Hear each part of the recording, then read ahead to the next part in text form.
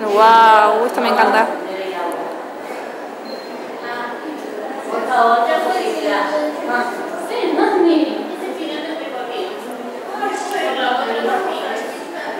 Fue muy corto, ojalá esto fuera un laberinto. Ay, sí. Quiero quedarme atrapada en ese laberinto. ¡Wii!